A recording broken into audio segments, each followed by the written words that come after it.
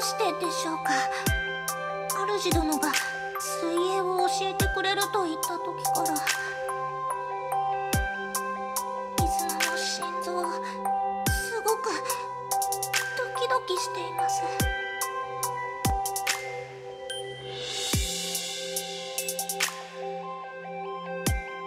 先ほど主殿が握ってくれた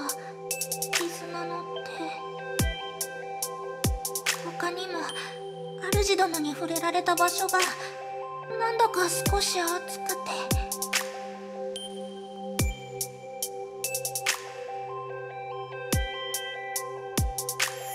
あの主殿先ほどはその少しバタバタしてしまいましたが今日一日絆はすごく楽しくて幸せでした。ですからそのなんと言いますかえっと。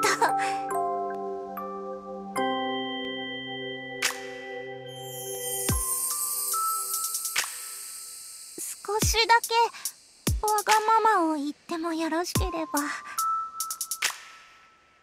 今度またもう一度泳ぎ方を教えていただけないでしょうか。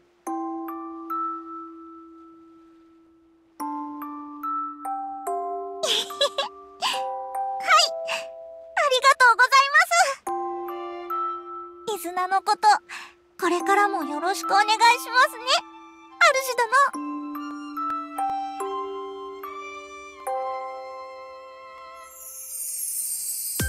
先ほど主殿が握ってくれた絆の手